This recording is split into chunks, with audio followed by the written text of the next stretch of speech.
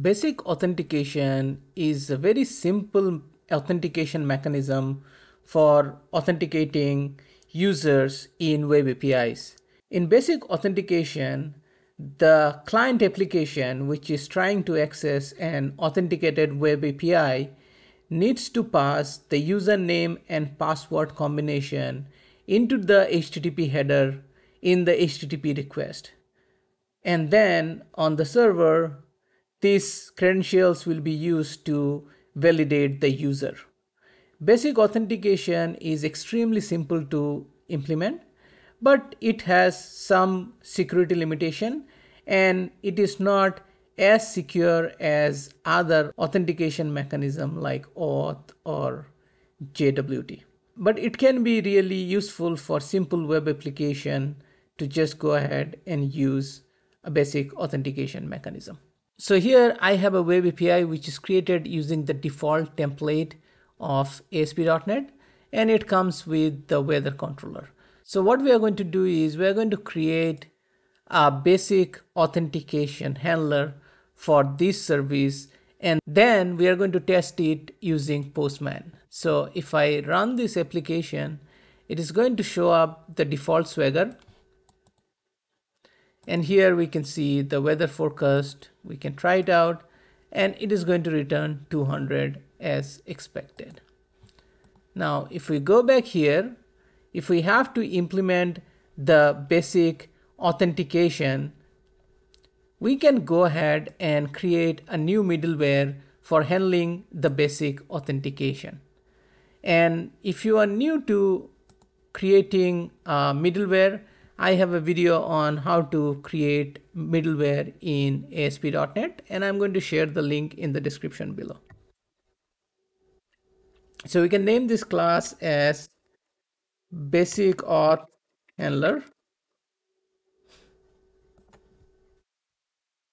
And inside of this class, we can create the constructor.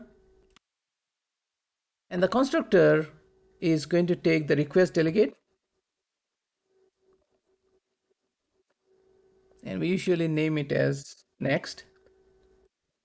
And then it will also take a realm and then I can just create both of these variable locally.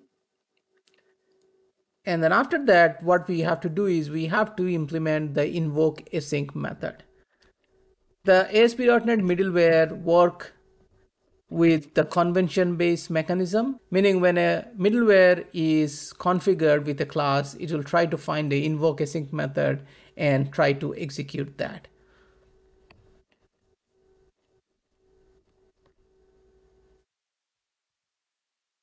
So create a invoke async and which will take an HTTP context and then after that what we are going to do here is first thing we'll do is if the header is missing then we want to just return unauthorized error. So for that what we can do is we'll check if context dot request dot headers. And here we can do contains key and if it is missing the authorization then what we want to do is we want to send a authorization error. So for that we are going to set the response. So we can say context dot response dot status code is equal to 401 and we can do await context dot response dot write async and here we can just say unauthorized. So if authorization header is missing it is unauthorized. Otherwise we can take the var again the context dot request dot header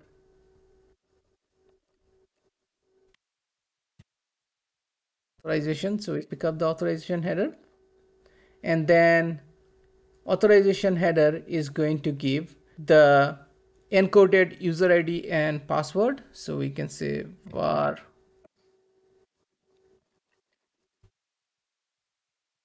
coded credentials is equal to we can take the header from here dot substring of 6 y6 should be we just do a ToString here. Or I can do this ToString here. So we can do substring of 6 why 6 because we're going to pass basic and the space before the token. So that will mean six characters. So we'll take after the sixth character. And after that, we'll do var credential is equal to encoding dot utf-8 dot get string and here we're going to pass convert dot to base 64 string of the encoded creds. So this is going to give us the credential. And then we can break the credential in semicolon because usually how the credential comes, it's usually in this format. It is basic space and then user ID colon password. And the user ID and password is usually base64 encoded. So that is why first we are getting it we're taking a substring because this is six characters. So we are taking a substring of six and then we are getting the string from the base 64 encoded value. So that's what we did. Then what we are going to do is we're going to do string uid pwd is equal to and we'll take the credentials that we got and here we're going to do a split. We're going to do a split on column.